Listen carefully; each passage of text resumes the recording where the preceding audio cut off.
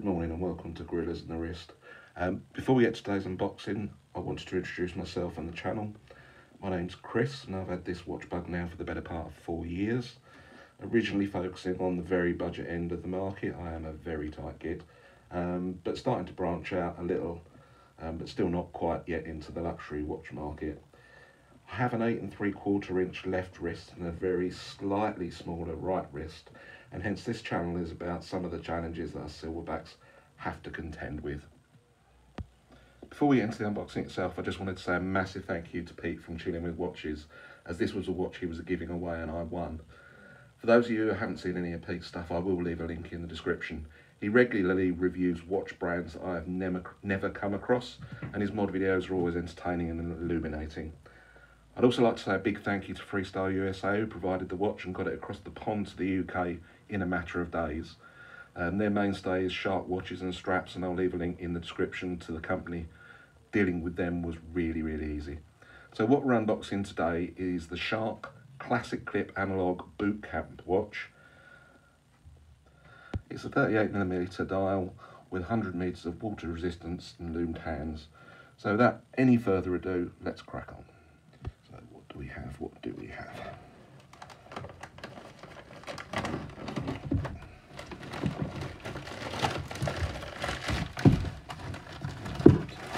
Usual FedEx fare, but very easy to get into. And we have paperwork, excellent. And then the box itself.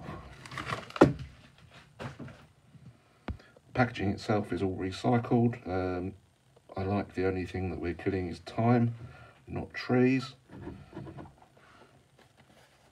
Fairly standard packaging. And let's see what we've got within the box itself.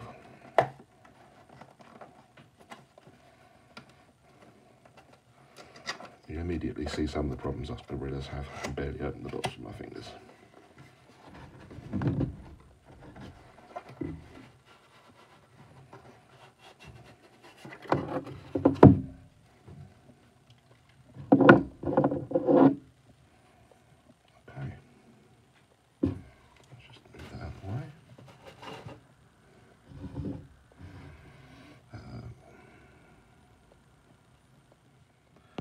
So this is what we have.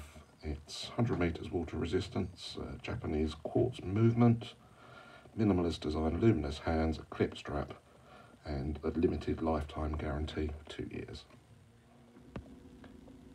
Currently has a mm, protection hand, so let's just pop that in.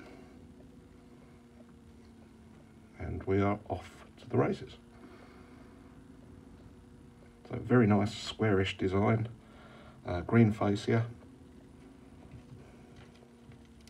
Say a nice camo strap, which I'm going to adjust in a minute to put on my wrist. Nice. So just do a quick check on the measurements. So we have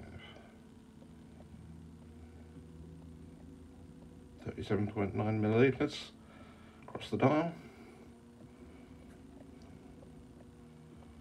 Thickness is 11 point, I can hold this thing steady, 11.4 millimeters, so nice and thick, what you, uh, thin, what you would expect from a quartz watch. And lug to lug. Tell I'm good at this, aren't I? So lug to lug, 36 millimeters.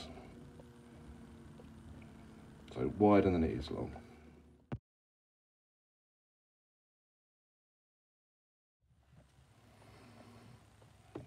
There it is on wrist. I have to say I'm pleasantly surprised because actually when I looked at this watch originally and it was ordered, um, what I realised is that it said for medium-sized wrists um, and therefore I was kind of expecting that it wouldn't fit me, um, which wouldn't have been the company's fault, would have been my fault because I didn't read, clearly didn't read the description properly. Um, but actually, shock horror, it fits.